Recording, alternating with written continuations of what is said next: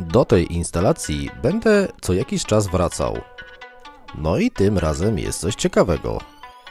Na razie pokażę Wam tak zwane spinki do dopuszczania wody do układu centralnego ogrzewania. W tym przypadku jest spinka do napełniania układu grzejnikowego, czyli po prostu dwa zaworki, wężyk i standardowe połączenie.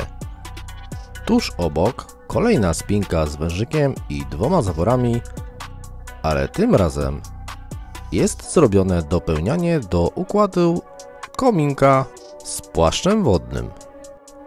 Lecimy dalej, bo to nie ostatnia spinka.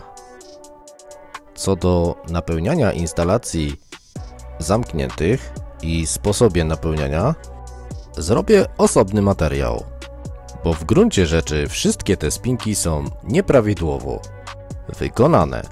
Ta trzecia spinka dotyczy dopuszczania wody do układu ogrzewania podłogowego. Jest jeszcze jedna spinka, ale dotyczy układu solarnego i tym zajmiemy się innym razem. Oczywiście, jak wielu z Was zauważy, za każdym razem brakuje tutaj zaworu zwrotnego, bo właśnie tego wymagają przepisy. I większość z nas nauczyła się robić spinki z jednym zaworem.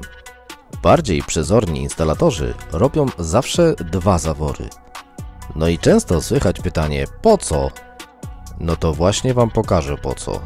Obydwa zawory zakręcone i jak widać na załączonym obrazku, zawór z zimnej wody, który odkręcamy trakcie dopełniania do instalacji ogrzewania podłogowego w tym przypadku, jest nieszczelny. No niby nic takiego, ale jeżeli nie byłoby tego drugiego zaworu, to układ cały czas ma doprowadzoną zimną wodę. Mało tego, doprowadza też również powietrze.